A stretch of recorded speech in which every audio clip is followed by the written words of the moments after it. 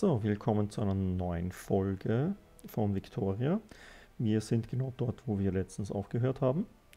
Ähm, und zwar im Kampf gegen Ägypten. Die erste Armee von Ägypten haben wir bereits restlos vernichtet. Das finde ich ganz toll. Die haben sich nicht einmal zurückziehen können. Im Normalfall würde ich sie sonst verfolgen. Ähm oh, Brasilien hat auch Paraguay den Krieg erklärt, noch sowas. Na gut. Ähm, normalerweise ist es wichtig, die Truppen des Gegners vollständig zu vernichten, weil, vor allem wenn wir im Feindesland sind, erholt er sich sehr, sehr schnell und dann kommt er mit neuen Truppen nach, während wir uns eben nicht so schnell erholen, was ein bisschen problematisch für uns alle ist. Ähm, leider haben wir am Anfang noch nicht so eine großartige Technologie, deswegen sind wir auch nicht so besonders gut im ähm, Belagern. Gut, wir haben da unsere restlichen Truppen, die haben wir zusammengeführt. Vielleicht bringen wir dann doch noch eine zweite Armee runter. Dieses Schippernakel, diese Schippernakeln bringen wir auf jeden Fall mal zurück. Schauen wir mal, was Frankreich da vorbeibringt. Kann durchaus sein, dass Frankreich, ah, Frankreich wird Kreta belagern. Naja, das ist keine großartige Hilfe, aber immerhin ein bisschen was. Mir wäre es recht, wenn Preußen einen Haufen Schiffe runterschickt und viele Leute dabei sterben. Ich möchte schwach, ein schwaches Preußen. Ich bin so gemein. Na gut, der Computer hat es nicht anders verdient.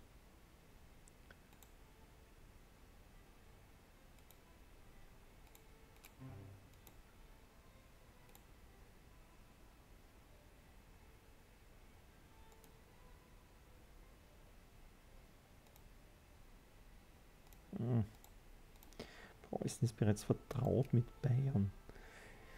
Ja wieder vorbei, dass wir Bayern die Preußen rausgeworfen haben. Ja.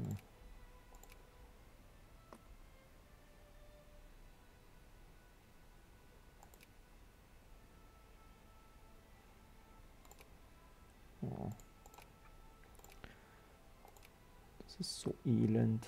Das ist eine Sisyphus-Arbeit definitiv. Ähm, vielleicht werden wir dabei Kolumbien nicht ganz so viel rein investieren. Dann sind die anderen schneller. Ah, da haben wir schon die ersten 17.000 Truppen von Frankreich. Das ist okay. Gut. Schiff. Du erholst dich mal in Triest von deinem Schock, dass du da drüber fahren musstest, übers offene Meer.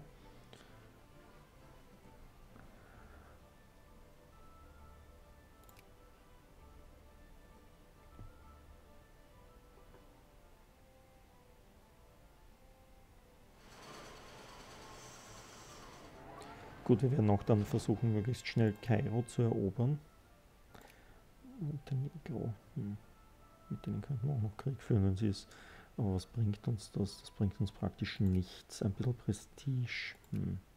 Sollen wir für ein bisschen Prestige Montenegro angreifen? Was haben die für Verbündete? Haben die Verbündete? Das kann ich mir kaum vorstellen. Keine Verbündeten, keine Schutzmächte. Wir haben einen Schuldentilgungskriegsgrund.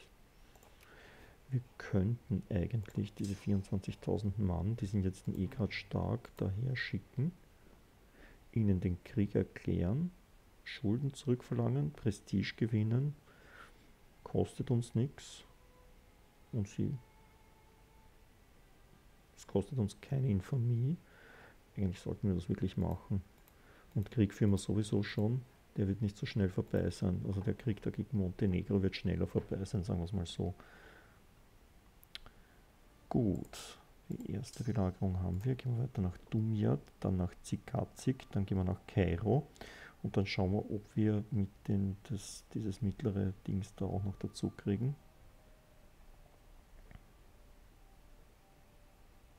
Na, achso. Pardon. Meine Pausenwut. Die ständig in Pause stelle. So, die ersten Geistlichen sind auf 2%. Das ist gut. Okay, wir machen aber weiter bis 3%. Das hat den Vorteil, ähm, dadurch, dass das so viele Leute sind in diesen Staaten, ähm, kommen wir schneller auf die 2% der Gesamtbevölkerung. In der Gesamtbevölkerung, weil das ist nicht für Staaten. Wir können in einem Staat zum Beispiel 10% Geistliche haben, wenn wir in den anderen 1% haben und dadurch insgesamt auf, auf, auf 4% kommen, äh, auf 2% kommen, ist das auch gut für unsere. Okay, jemand hat uns Krakau weggenommen, damit können wir leben. Krakau ist uns egal. Das kann ruhig ein Teil des russischen Reichs werden. Ach, das sind 20.000 Ägypter. Und die belagern schneller als wir. Mist. Das ist nicht gut. Das müssen wir unterbinden, leider. Mhm. Na komm schon. Wohin reitet denn der nach Mansura? Am 31. Oktober ist er dort, sind am 3. Dann machen wir das so. 2. November. 2. November, vielleicht erwischen wir sie. Wichtig, wir müssen möglichst, möglichst alle ägyptischen Truppen entsorgen. So, wir sind direkt mit der einen Truppe von Montenegro. Na dann, erklären wir den Krieg. Kostet uns keine Infamie. Bringt uns, wenn wir gewinnen, 5 Prestige. 5 Prestige haben oder nicht haben, ist am Anfang schon ziemlich wichtig. Ähm, kostet uns eigentlich nichts. Da brauchen wir auch keine Verbündeten. Das wäre nur riskant, seine Verbündeten zu verlieren. Gut, wenn wir dort die Belagerung haben. Ah, sehr gut, wir haben sie erwischt.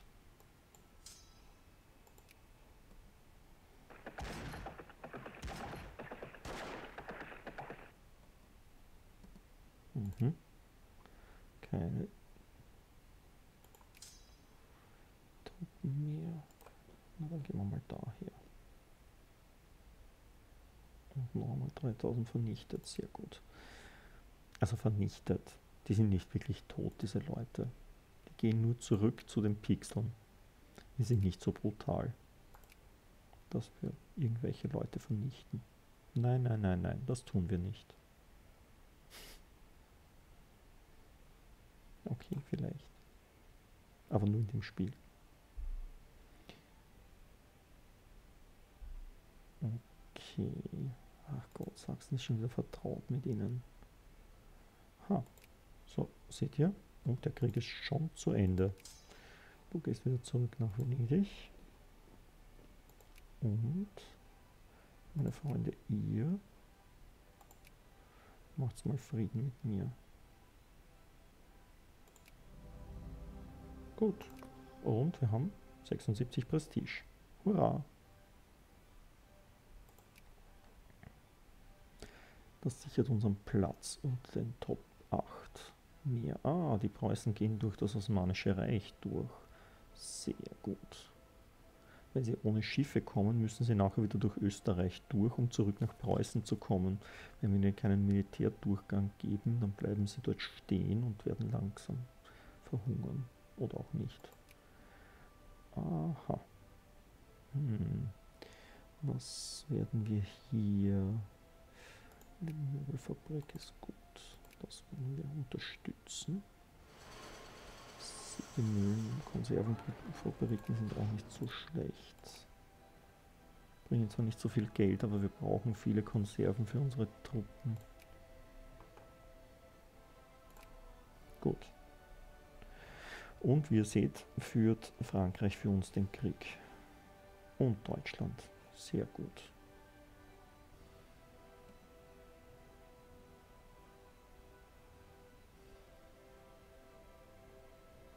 Wieder ein bisschen mehr Liberale, das ist auch gut. So, wir schauen, wir sind die Anführer im Krieg, sehr gut. Manchmal sind die nicht so fies, dann übernehmen die stärkeren Großmächte das Ganze. So, gehen wir weiter nach Kairo. Das bringt uns nämlich sehr viele Punkte. Dann können wir nämlich ein weiteres, möglicherweise ein weiteres Kriegsziel hinzufügen. Wir brauchen mehr Hurra-Patriotismus. Naja, das wird sich schon machen lassen. Wir haben immerhin Reaktionäre an der Macht. Die sollen das doch bitte durchpeitschen.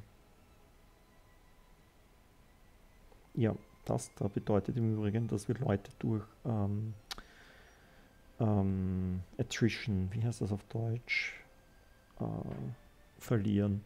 Das bedeutet im Endeffekt nichts anderes als, dass ähm, die haben Reserven mobilisiert. Warum? Das ist Ägypten, gegen die wir da kämpfen. Wir haben Kairo belagert und erobert.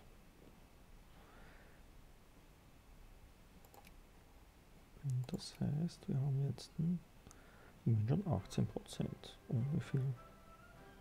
6,2.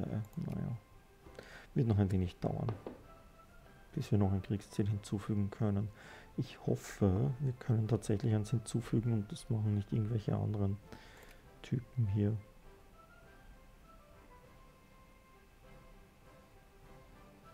meine, mit Kairo haben wir das, das, das Machtzentrum quasi erobert. Das ist einmal ganz gut.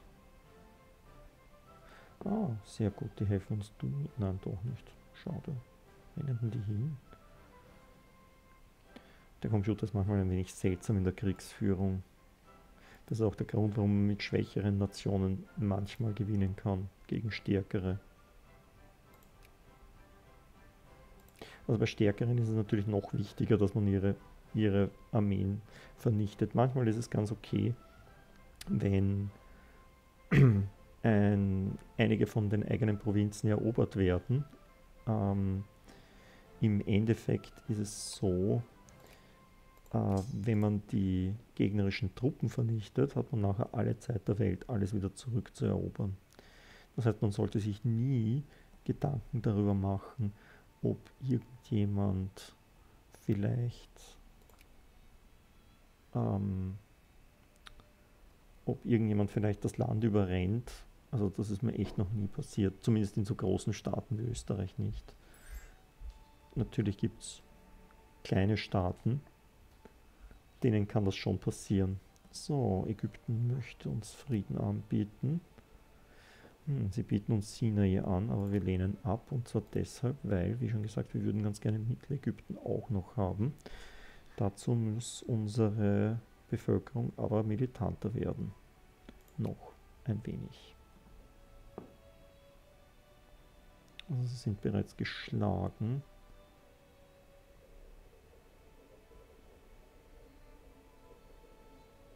Und Medizin haben wir auch gleich und wir sind schon 1840. Hm. Wäre gut, wenn Medizin bald fertig wäre, damit wir Idealismus langsam erforschen können. So, 10. Juhu, wir haben 10 Forschungspunkte.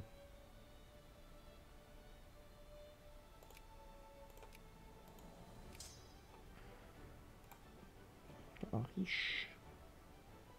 Ja, ich weiß nicht, ob ihr das wisst, aber wenn wir hier ähm, 75% des äh, Kriegsziels erobert haben quasi, dann äh, bekommen wir auch einen Bonus in äh, einen, einen Kriegsbonus quasi.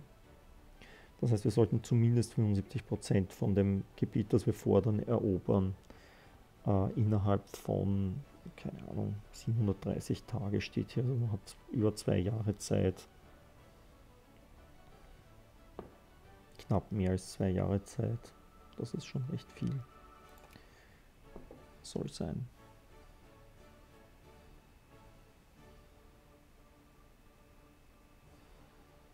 Also Sham al-Sheikh müssen wir nicht erobern, aber Al-Arish sollten wir schon noch erobern. Dann haben wir 75% und dann gehen wir da nach Mittelägypten und beginnen Mittelägypten zu belagern, weil das werden wir als nächstes fordern. Argentinien ist bankrott, das ist uns egal. So, schauen wir mal, noch eine Fabrik. Ah ja, die Konservenfabrik. Mal fertig. Ähm, hm. Sägemühle ist, glaube ich, gescheiter. Wenn wir investieren in die Sägemühle.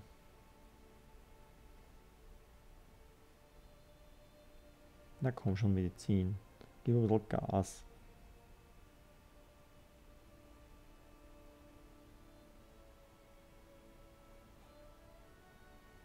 Sehr gut. Ach, wir können noch immer kein Kriegsziel hinzufügen. 6,5 sind wir aber schon. Na gut. Details. Wir gehen zurück zur Kultur. Wir machen... Nein, Idealismus haben wir gesagt. Beginnen. Das sind 8000 Punkte. Das sind jetzt 800 Tage, genau. Das ist etwas mehr als zwei Jahre. Na gut.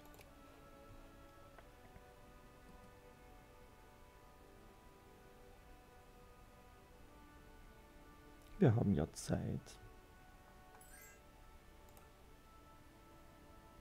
Inseln. Großbritannien. hm. Gut. Weiter noch Ras Garib. Ignorieren. Ich hätte gern ein neues Kriegsziel. Na gut. Ja, während wir das machen, dürfen wir nicht vergessen, dass Preußen weiterhin versucht, Sachsen uns abspenstig zu machen. Das heißt, wir werden Preußen erneut rauswerfen. Aus Bayern auch. Das Baden derzeit nicht.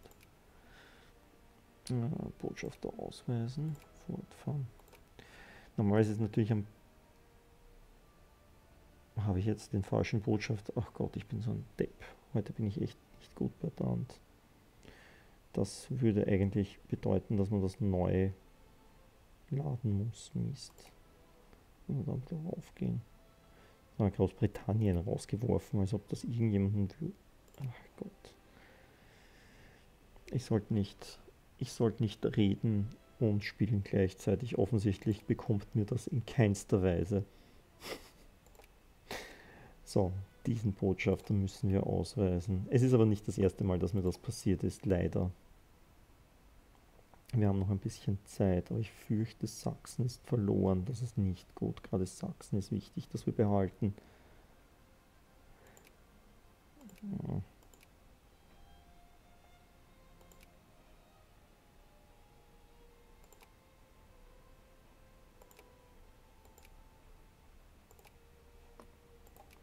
Gut soll sein, vielleicht müssen wir dann früher mit Preußen Krieg führen, als wir wollten. Nämlich bevor sie es schaffen, den Norddeutschen Bund zu gründen.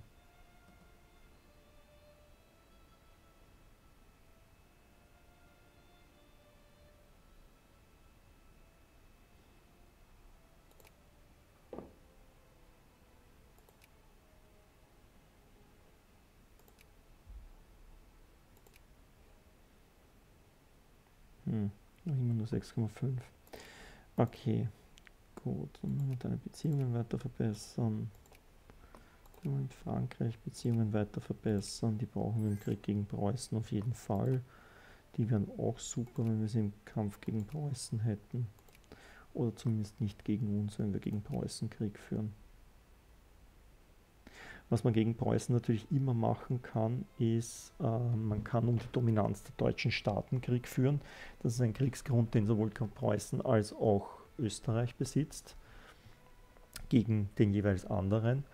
Ähm, das würde uns sämtliche ihrer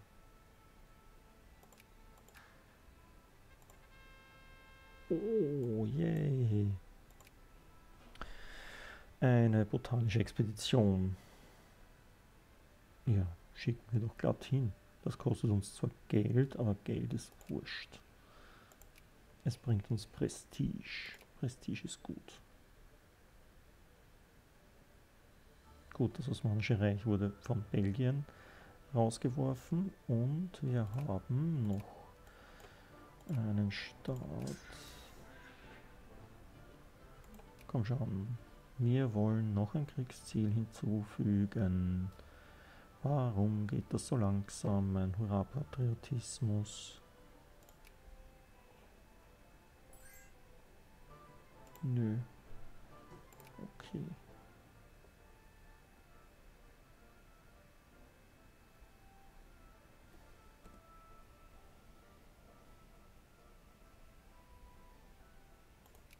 So, wie gesagt, wir sind jetzt ein Plus. Wir haben bereits plus 1% unserer, ähm, unseres Kriegsfortschritts dadurch gekriegt, dass wir das besetzt haben. Nö, will ich nicht. Interessiert mich nicht. Steht in der Zeitung. Nur, dass wir Krieg führen. Uh, Frankreich, Spanien, Russland, Frankreich, Sachsen ist egal, USA, Spanien, Frankreich, Schweiz, Spanien, Belgien. Hm, ja, das ist.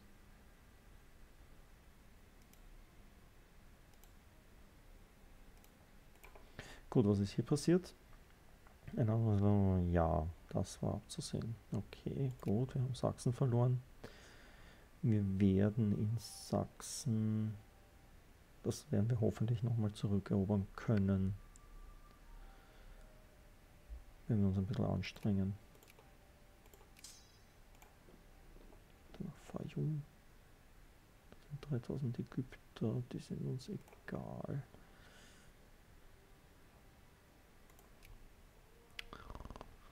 Ah, 6,7, na immerhin. bald. Hey, das ist mir ja überhaupt noch nie passiert. Das ist ja cool.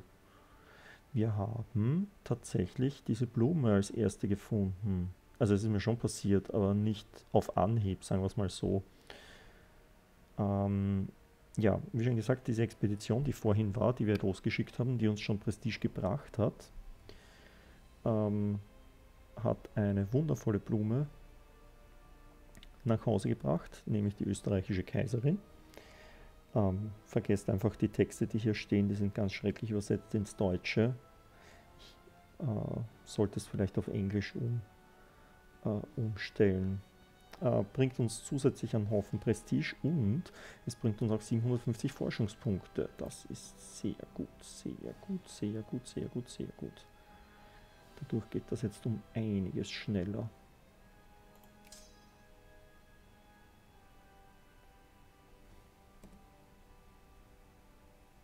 Hm. Ich hätte diesen Krieg schon ganz gerne, äh, ganz gerne erledigt, bevor wir dieses, dieses Dings fertig haben. Aber dazu brauchen wir hier noch ein wenig mehr Hurra-Patriotismus. Meine Verbündeten werden sich mittlerweile auch denken, was macht der Typ? Er hat es doch eh schon erobert. Wozu sind wir hier noch mit unseren Truppen und erobern ganz Ägypten, wenn er die Forderungen eh nicht einlöst? Ja, die wissen eben nicht das, was ich weiß. Die wissen nicht, dass wir in 30, 20, 30 Jahren den Suezkanal gründen wollen, bauen wollen. Der Suezkanal ist nicht nur wichtig für uns wegen des Prestiges, das er bringt, sondern es ist vor allem deswegen wichtig, wenn wir dann da durchfahren können, ungehindert wenn wir den Suezkanal besitzen. Und diese Strecke da ist schon sehr, sehr gut. Also sollten wir wirklich Kolonien haben, ist es überhaupt wichtig. Ja, plus 1% Liberale. Sehr gut, der Krieg ist doch gut. Er macht die Leute radikaler.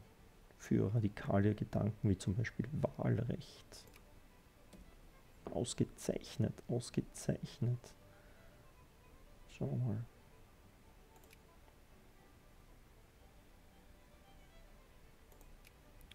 Wie schaut's aus? Hurra, Patriotismus, wir brauchen mehr. 6,86, sehr gut. Bald. Gut, 12. Juni 1842 haben wir dann den Idealismus. Dann haben wir noch mehr Forschungspunkte und dann geht es noch schneller.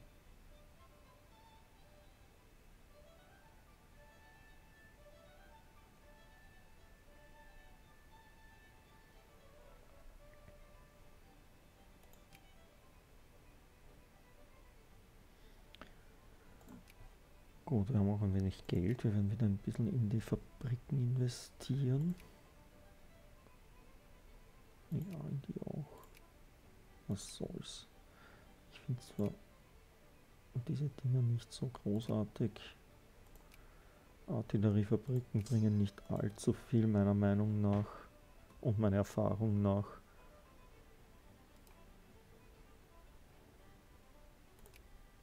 Um uns ein bisschen unabhängiger von ausländischen Fabriken. Mhm.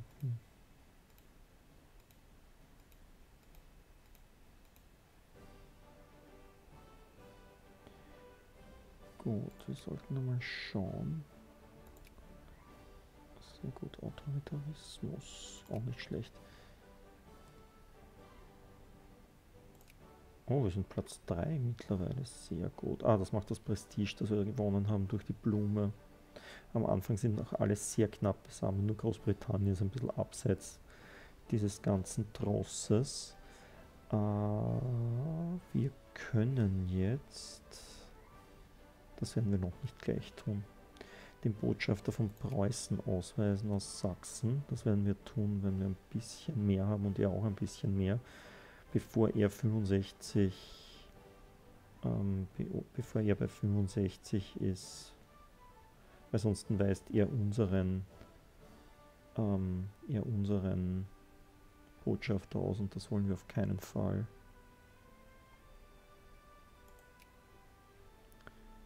Noch immer nicht. Na geh. Ja, na okay. Das habe ich verdient. Das habe ich vergessen. Mein Botschafter weist er nicht aus, aber meine Berater haut er raus. Das heißt, ich kann weitermachen, aber hm, ihr seht, ich mache alles falsch, was man nur falsch machen kann. Und ein Kriegsziel kann ich noch immer nicht hinzufügen, aber wir sind schon bei 6,915. Wir müssen bei etwa 7% sein mit dem Hurra-Patriotismus. Hm. Wir haben eine Bauernbank, die können wir verstaatlichen, das würde uns Geld bringen. Wir können die Bank einfach schließen, das würde uns Militanz bringen. Und wir können die Bank einfach machen lassen. Ich finde das okay. Ich bin ein alter Sozi und ein bisschen Bewusstsein in der Bevölkerung ist okay.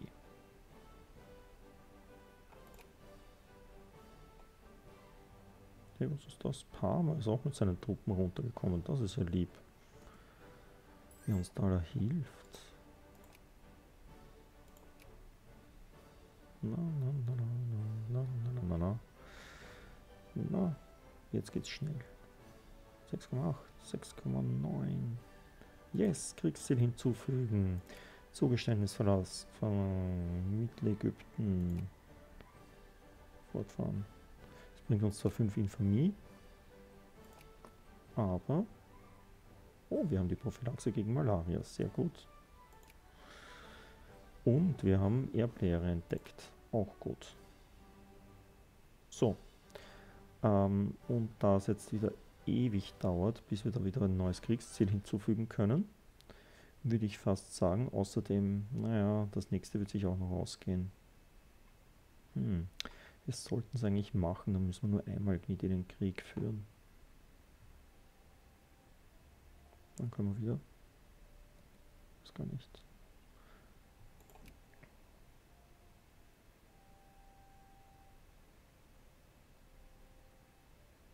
Ja, es läuft gerade so schön. Das ist alles erobert und ich muss das nachher nicht nochmal machen. Es müsste sich eigentlich ausgehen von den Punkten her. Das ist ein Problem. Wenn es nämlich zu viel sind, dann geht es auf keinen Fall. Aber ich glaube, drei sollten sich ausgehen. Drei Provinzen auf einmal. Es lässt mich zwar durchaus gierig erscheinen, aber es erspart mir einiges an Mühe später. Das heißt, das war der letzte Krieg für lange Zeit, den ich freiwillig geführt habe. Wenn ich das mal habe.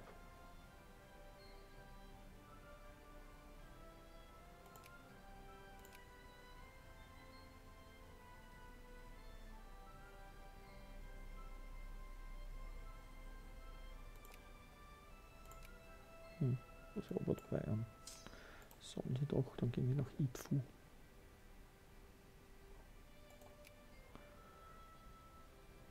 Oh Gott, wir müssen wieder auf 6,9 kommen. Ah, das dauert zu lang. Sehr ärgerlich. Und bei zu 100 Prozent. Mich wundert, dass die anderen nicht irgendetwas fordern. Normalerweise hätte ich schon gedacht, dass Frankreich irgendetwas fordert. Hm. Komisch.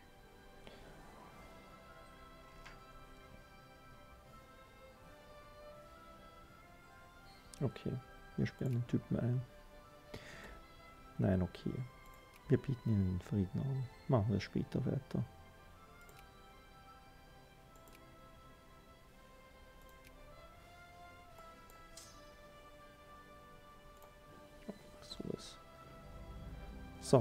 Haben wir gemacht.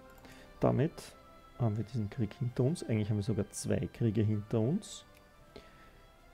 Wir haben Ägypten ein großes Stück Land rausgezogen. Wir haben jetzt eine, unsere erste Kolonie.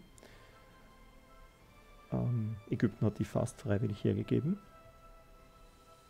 Durch das, dass wir einige Verbündete hatten, ist es sehr viel einfacher gegangen. Ohne Frankreich und Preußen wäre es natürlich auch gegangen, hätte aber viel länger gedauert ähm, und hätte uns auch viel mehr Ressourcen gekostet. Diese erste Armee schicken wir wieder zurück nach Europa oder lassen wir die gleich hier? Na, die lassen wir gleich da. Das passt schon. Was wir auf jeden Fall machen als erstes ist den Haushalt wieder etwas zurückschrauben.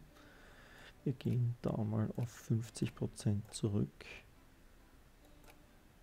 Und zwar deshalb, ähm, wir gehen noch nicht auf 0%, weil erstens sind sie noch in Ägypten, die Leute. Wir gehen zurück, ähm, da gehen wir wieder auf, wir auf 95%, das müsste eigentlich genauso gut sein wie 100%. Da gehen wir auf 85. Und da gehen wir wieder zurück auf 80.